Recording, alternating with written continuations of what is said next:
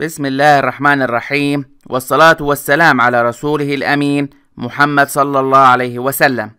معكم أخوكم حسن صالح مرشد من الشبكات الرقمية في الفيديو الثالث والخاص بمنهج ال Server Plus. شاهد تعلم واستمتع.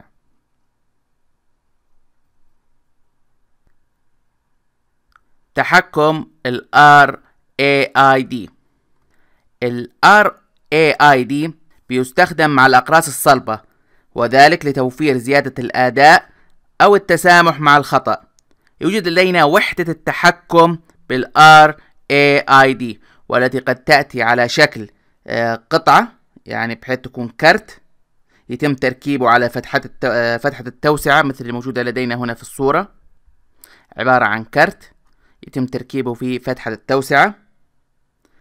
أو ممكن يكون برنامج بحيث نتمكن من خلاله أو من خلال وحدة التحكم من إدارة ال RAID أو ال RAID ال BIOS وال UEFI يوجد لدينا firmware بتوفر آه، إرشادات منخفضة المستوى لل server سواء كان على ال server نظام تشغيل أم لا وهي ال BIOS وطبعا مثل ما هي موجودة في آه، ال server هي أيضا موجودة على جهاز الكمبيوتر المكتبي واللابتوب.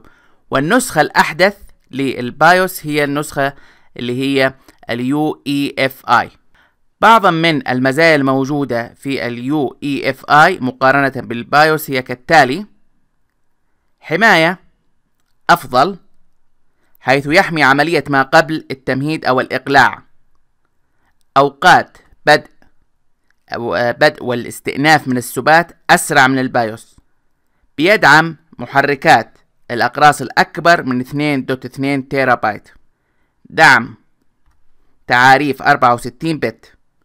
firmware drivers القدرة على استخدام ال BIOS مع ال UEFI hardware عند بدء تشغيل ال server سوف يقوم ال BIOS أو ال UEFI بمحاولة اكتشاف الأجهزة والمكونات الموجودة في ال server والتأكد من أن القطع الأساسية لل server تعمل ليتم الإقلاع وتمكنك أيضا يعني يعطيك إمكانية ضبط وإعداد المستوى الأساسي لل server. وذلك من خلال برنامج إعداد ال CMOS والذي يتم الوصول إليه عن طريق ضغط مفتاح معين من لوحة المفاتيح عند بدء تشغيل ال server مثل F1 أو Delete حيث آه، حسب طبعا نسخة ال BIOS أو ال UEFI الإعدادات الأكثر شيوعا في ال CMOS هي إعدادات المنافذ بأنواعها المتوازي التسلسلي ال USB إعداد تسلسل الإقلاع والتاريخ والوقت والحماية.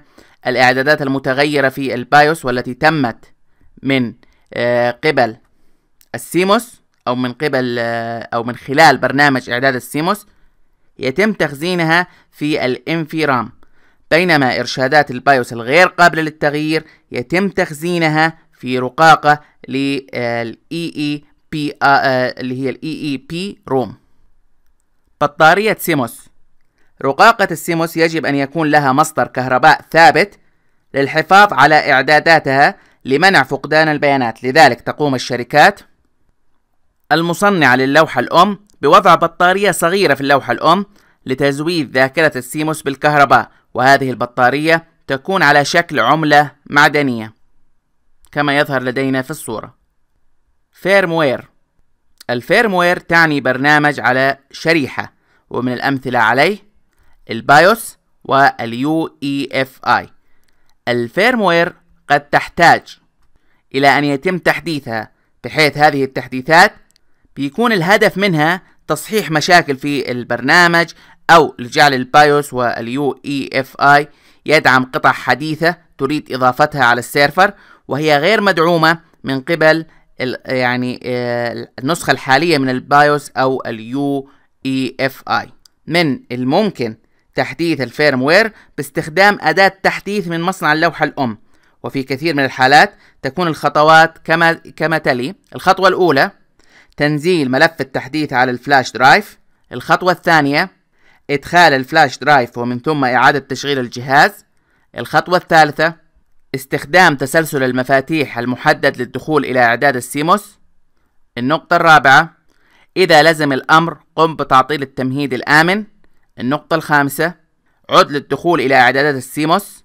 النقطة طبعا هذه النقطة السادسة أما النقطة الخامسة فهي حفظ التغييرات وإعادة تشغيل مجددا. ومن ثم بعد ذلك النقطة السادسة عد للدخول إلى إعدادات ال CMOS. بعد كده النقطة السابعة آه، اختر خيارات الإقلاع ومن الإقلاع من ال flash drive. الخطوة الثامنة اتبع التوجيهات المحددة مع التحديث لتحديد موقع ملف التحديث من على ال flash drive. الخطوة التاسعة تنفيذ الملف عادة عن طريق الكتابة والنقر في الفلاش. الخطوة العاشرة أثناء اكتمال التحديث تأكد من المحافظة على وصول الكهرباء للجهاز. هذه كانت الخطوات العشرة التي غالبا بيتم استخدامها لتحديث ال firmware اللي هي عبارة عن نظام في داخل شريحة مثل ال BIOS واجهات ال USB أو منافذ ال USB مثل جهاز الكمبيوتر فغالبا ما يكون لدى ال server منافذ USB. على الأقل عدد اثنين واحد للماوس والآخر لل keyboard على الرغم أنه قد يتم استخدام ال KVM switch لاستخدامه على أكثر من server. مكون التبديل الساخن وهي تعني أي قطعة يمكن تغييرها دون إيقاف تشغيل ال server. وهذه خاصية مرغوب فيها لكثير من ال servers التي نحتاج إلى أن لا تتوقف عن العمل.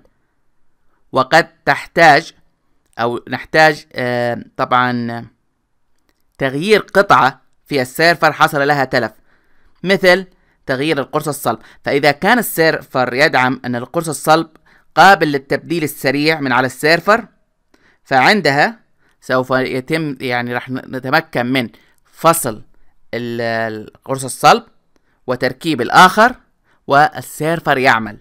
دون الحاجة إلى إيقاف ال server. طبعا يكون لدى ال server أكثر من قرص صلب.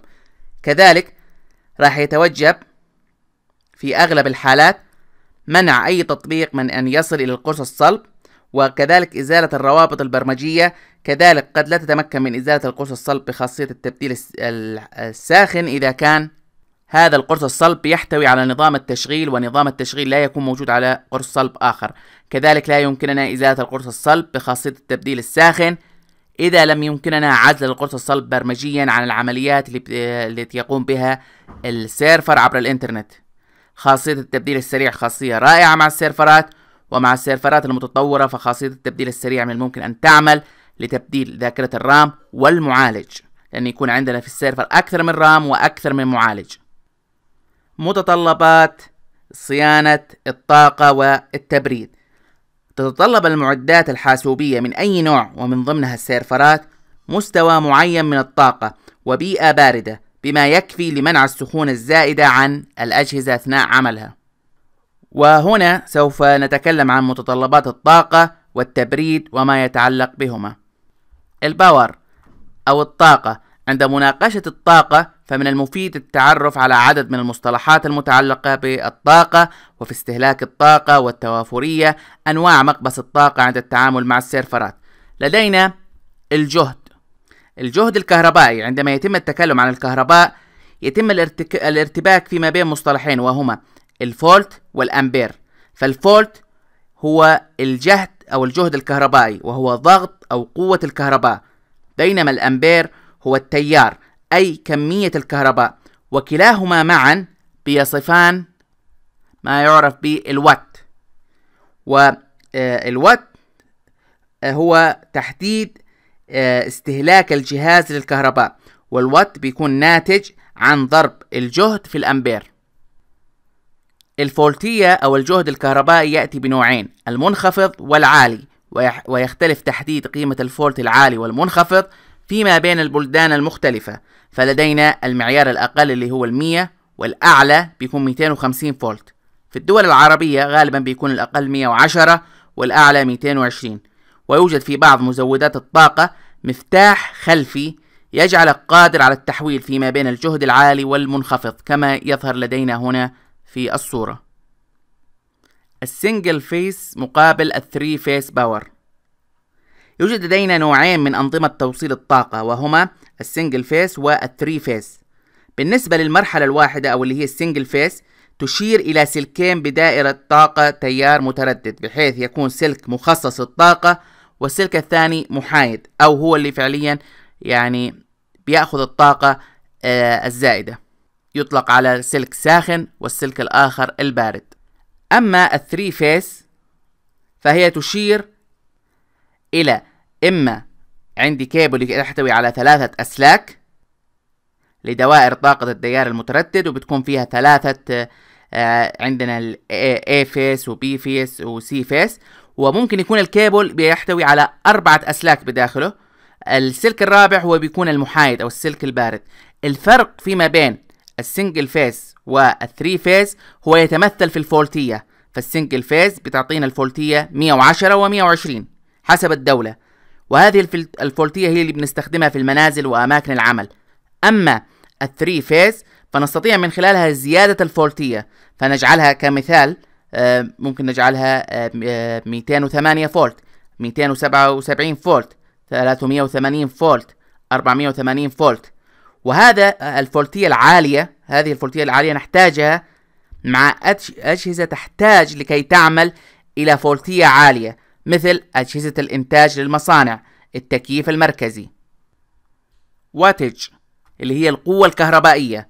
كل من الفولت والأمبير معا يكونان لنا القوة الكهربائية التي يحتاجها أي جهاز ليعمل وتحدد من خلالها الاستهلاك. عندنا الاستهلاك.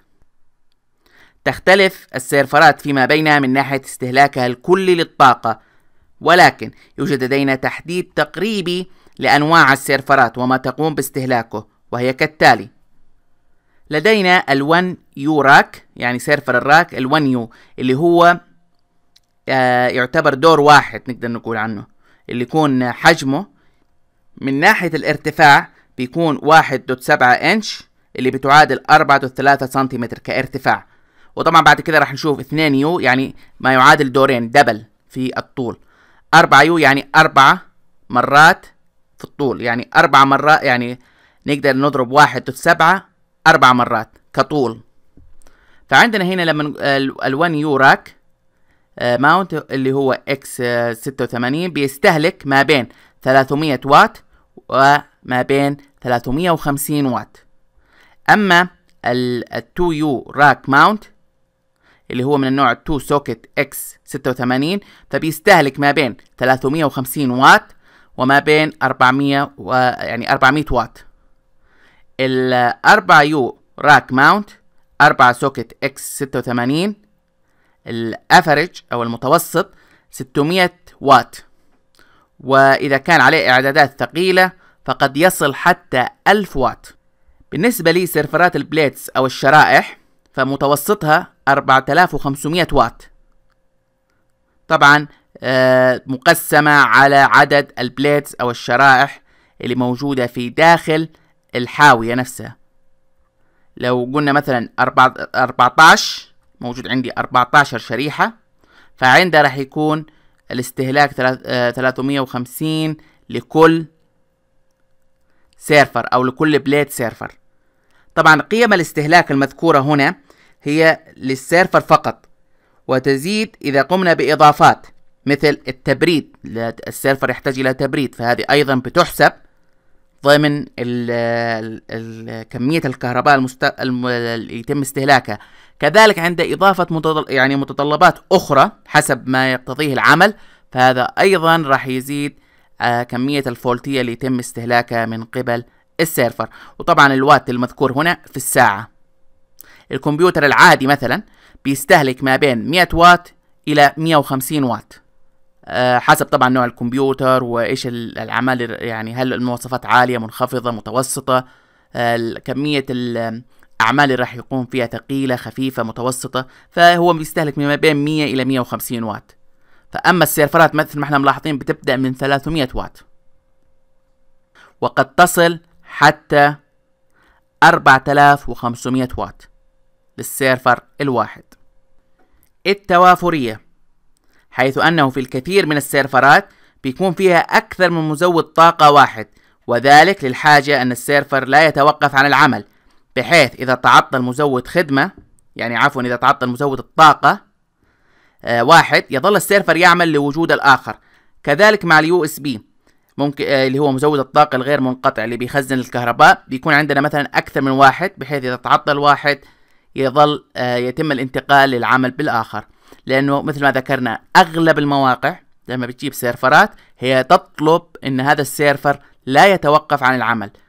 فعلى مستوى التوافرية على مستوى الكهرباء للسيرفر زي ما إحنا ملاحظين هنا يكون عندي أكثر من مزود طاقة أكثر من power supply واحدة للسيرفر الواحد. هنا عندي اثنين شغالين وموصلين بالكهرباء راح يعمل واحد. والثاني أيضا راح يعمل لكن لن يتم استخدامه من قبل السيرفر. إذا تعطل الأول عندها يتم الانتقال إلى الثاني وبالتالي يظل السيرفر يعمل وهنا زي ما أنتم شايفين في ذراع للسحب فهذه خاصية إيش؟ التبديل الساخن آه على مستوى ال power supply أو مزود الطاقة بحيث اللي راح أقوم فيه هو إن أنا راح أجيب بعد كذا مزود الطاقة الجديد أقوم بسحب القديم وتركيب الجديد والسيرفر يعمل دون الحاجة إلى الفصل السيرفر ودون أن يصيبني عمل السيرفر مثلا بصعقة كهربائية. هنا أيضا مثال آخر لسيرفر آخر.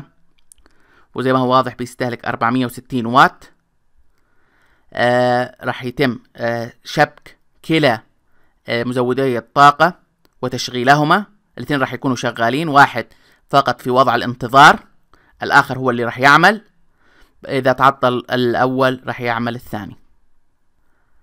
أنواع قابس الكهرباء. يوجد لدينا عدد من أنواع مقابس الكهرباء المختلفة التي قد تتعامل معها الأجهزة وهنا راح نشوف أمثلة لها. لدينا ال NEMA plug وهذا المعيار من المقابس يتواجد بعدد من الأنواع الفرعية اللي تندرج ضمن هذا النوع. تختلف فيما بينها من ناحية اتجاه المقابس وأشكالها والتصنيفات يعني عندنا تصنيفين أساسيين لل NEMA وهما ال straight blade وال locking وعندنا مثال لكل منهما. Edison plug وهي كما بالشكل الظاهر أمامنا وقد يأتي بأرضي أو بدون أرضي. هنا لدينا ثلاثة هذا أرضي وقد يأتي فقط بزوجين. هذا النوع يطلق عليه Edison plug. لدينا twist lock plug وهو يتبع ال NEMA Locking ويوجد منه ما يدعم ال 6000 واط. التبريد. عندما نقوم بتلبية اعتبارات الطاقة فيجب عليك الانتباه إلى ضمان أن لا ترتفع درجة حرارة السيرفر فالمعالج في السيرفر ينتج حرارة أثناء عمله. هذه الحرارة لابد من التعامل مع معها من خلال التبريد والذي يتواجد بعدد من الأنواع. فلدينا ال air flow. ال air flow يعني تدفق الهواء بحيث يدخل الهواء البارد من واجهة السيرفر ويقوم بحمل. الحرارة الموجودة بداخل السيرفر ليخرج الهواء من خلف السيرفر كهواء حار ويجب الحفاظ على عدم وجود أي عوائق تعيق تحرك هذا التدفق. لدينا هنا في المثال صورة لسيرفر آه، يدخل الهواء البارد من واجهة السيرفر ويبدأ يس آه، عندما يعني كلما يمر من داخل السيرفر يبدأ بالسخونة. لماذا؟ لأنه بيحمل الهواء الساخن ومن ثم حتى إذا خرج من السيرفر يصبح هواء ساخن. ويجب الحفاظ على هذا التدفق من أي عوائق بحيث يمر بسلاسة.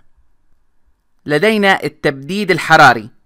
يتم توليد الحرارة عن طريق عمل الأجهزة الإلكترونية ويجب أن يتم تبديد هذه الحرارة. ويوجد عدد من الأسباب لتحقيق ذلك. فلدينا الهيت سينك أو يوجد لدينا عدد مش من الأسباب عدد من الطرق لتحقيق ذلك. فلدينا ال heat sink. وهي قطعة معدنية تقوم بسحب الحرارة من على المعالج آه، طبعا وتقوم بأخذها ال heat sink أو تخزينها بداخلها. طبعا لكن راح نحتاج إلى إخراج الحرارة من على ال heat sink. لذلك نحتاج إلى مروحة تقوم بإخراج الحرارة. وكذلك في غرفة السيرفرات سوف نحتاج إلى تكوين ممر ساخن وممر بارد بحيث الممر البارد يدخل على السيرفرات والممر الحار هو يخرج من السيرفرات. طبعا كهواء حار ناتج من عمل السيرفرات ويجب التأكد من أن الممرات في داخل غرفة السيرفرات لا تواجه عوائق تجعل من الهواء الحار يعود مجددا إلى السيرفرات مما يرفع درجة الحرارة للسيرفرات ويلحق بها الضرر. إذا هنا عندنا نوعين من كمشتت حراري. لدينا ال heat sink اللي هي قطعة معدنية يطلق عليها أيضا مشتت حراري باللغة العربية. يتم تركيبها على معالج السيرفر آه، فتقوم بعمل شفط أو عمل سحب للحرارة اللي موجودة على السيرفر والحرارة تصبح في هذه داخل القطعة المعدنية ويتم تركيب مروحة في أعلى هذه القطعة فتقوم المروحة بعملية سحب للحرارة الموجودة على هذه القطعة المعدنية وإلقائها في الخارج. هذه من أنواع اللي هو المشتت الحراري. كذلك تكلمنا عن الممر اللي أو تدفق الهواء على مستوى السيرفر نفسه. هنا لدينا إعداد لممرات ساخنة وباردة لكن على مستوى غرفة السيرفر نفسها الغرفة التي تحتوي على مجموعة من السيرفرات. أيضا نقوم بإعداد ممر هوائي بحيث نضمن زي ما إحنا شايفين عندنا هنا في الصورة يتم ضمان أن الهواء البارد يدخل على السيرفرات يسحب الهواء الحار يخرج من على السيرفرات ومن ثم الهواء الحار لابد من طريقة إما لتبريده أو لصرفه وإخراجه للخارج.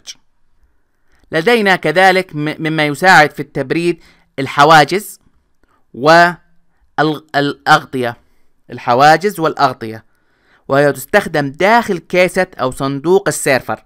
وكذلك في غرفة السيرفرات أيضا بيتم استخدامها وهي تعني تركيب حواجز أو أغطية لكي تساهم في توجيه وتغيير تدفق الهواء وذلك لتوجيه الهواء في الاتجاه المطلوب. كذلك قد يتم استخدامها لتغطية فتحات الرف اللي موجودة يعني آه، في كمية الاتصالات واللي في بعض الحالات آه، طبعا آه، يعني مثلا يكون عندي رفوف غير مستخدمة فهي بتستهلك من الهواء البارد فيتم إغلاقها. كذلك في بعض الحالات يتم استخدامها تحت الأرضية المرتفعة لإغلاق الثقوب حيث أن إغلاق الثقوب سوف يحسن من تدفق الهواء.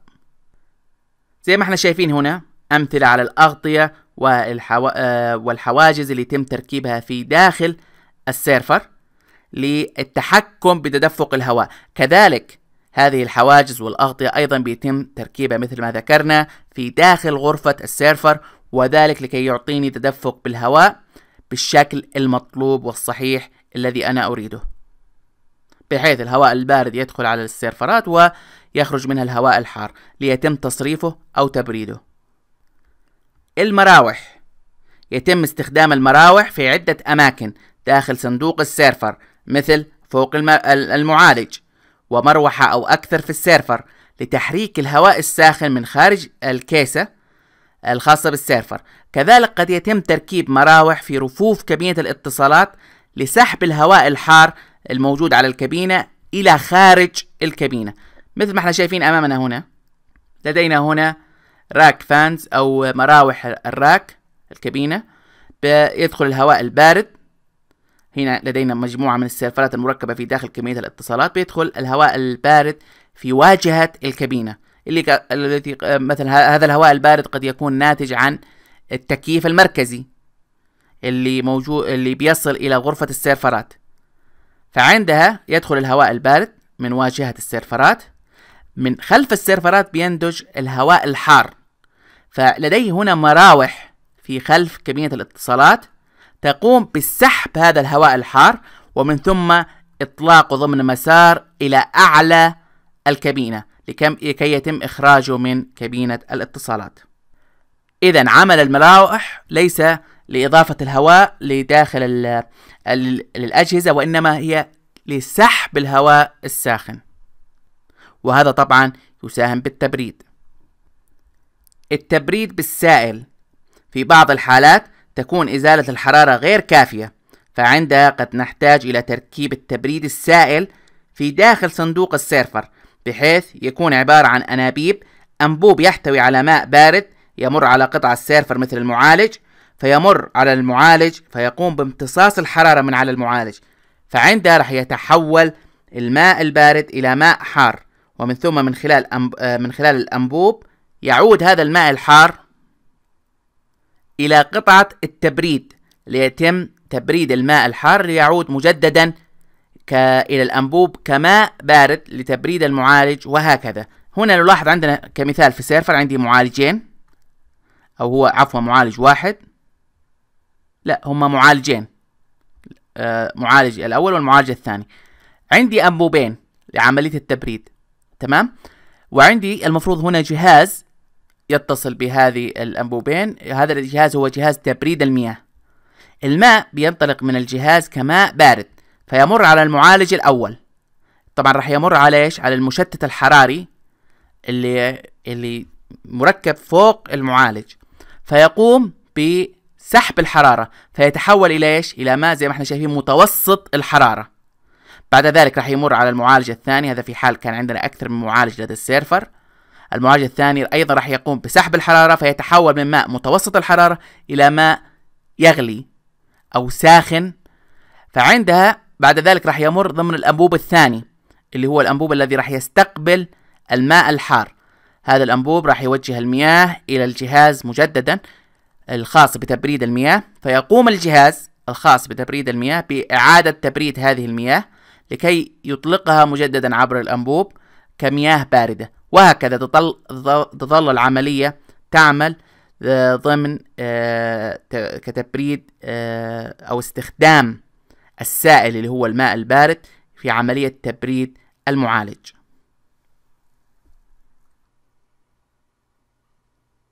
أشهر الشركات المصنعة للسيرفرات في العالم هي طبعا هنا كتصنيع للقطع المادية ال hardware وليس كنظام تشغيل software نظام التشغيل شيء آخر ولديه شركات أخرى. لكن كقطع hardware فالتصنيع لدينا يعني ثلاث أشهر شركات ويوجد غيرها أيضا بس ثلاثة أشهر شركات حول العالم وأكثرها انتشارا هي عندنا شركة HP شركة Dell شركة IBM طبعا كلها شركات أمريكية عالمية متعددة الجنسيات. وهذه الشركات بتملك وكلاء في كل دولة من دول العالم. والوكلاء في كل دولة بيكون لهم تصنيف حسب تعاملهم مع مع هذه الشركة. فمثلا اتش بي مثلا تعطي تصنيف يعني قد نسمع مصطلحات مثل إنه شريك ذهبي شريك ماسي شريك فضي. آه فهنا طبعا نستطيع من خلال هذا التصنيف نحدد قوة الشريك أو قوة الوكيل للاتش بي وبالتالي كلما كان مثلا إحنا نحتاج السيرفرات اللي راح نقوم بتشغيلها هي في أماكن مهمة ويجب أن تحظى بالدعم فعند كل راح نحتاج أن يكون الوكيل يعني مستواه عالي. لأنه بالإضافة إلى السيرفر فأنت أيضا بالإمكان أن تقوم بتوقيع عقد أو آه، اتفاقية مستوى الخدمة بحيث يكون في عقد بينك وبين الوكيل من ناحية تقديم خدمات الصيانة. بحيث آه، القطع الخاصة بالسيرفر لا تجدها في السوق العادي مثل آه، أجهزة الكمبيوتر العادية وإنما يتم طلبها من الشركة الأم ويكون آه، لدى الوكيل مخزون منها وإذا لم يكن فيقوم بطلبها. فعند هنا قد تتعاقد يا إما قد لا يكون هناك تعاقد على الخدمة بحيث إذا تعطلت قطعة وقت تتواصل مع الوكيل لكي يقوم بإحضار القطعة لك. وقد يكون هناك تعاقد. طبعا هذا حسب أهمية السيرفرات والجهة التي تعمل بها السيرفرات. فقد يكون هناك تعاقد فيما بين الجهة التي قامت بشراء السيرفرات وما بين الوكيل التابع للشركة المصنعة للسيرفرات. بحيث قد يتم توقيع عقد مع الوكيل بأن يكون هو المسؤول عن الصيانة للسيرفرات. بحيث مثلا يقوم بزيارتها كل فترة وفترة يقوم بعمل الصيانة الوقائية والتأكد من آه، سلامة القطع والمكونات. إذا حصل تلف لقطعة فيقوم بإحضارها وتركيبها. الفني أو المهندس التابع آه، للوكيل نفسه. طبعا هذه الاتفاقية قد تزداد فيها المتطلبات وقد تنخفض. وطبعا كل ما زادت المتطلبات كل ما زاد ذلك من آه، قيمة الاشتراك اللي راح يتم دفعه. لمزود الخدمة. وهذه المتطلبات تزداد وتنقص حسب أهمية عمل السيرفرات والموقع الذي تعمل به هذه السيرفرات.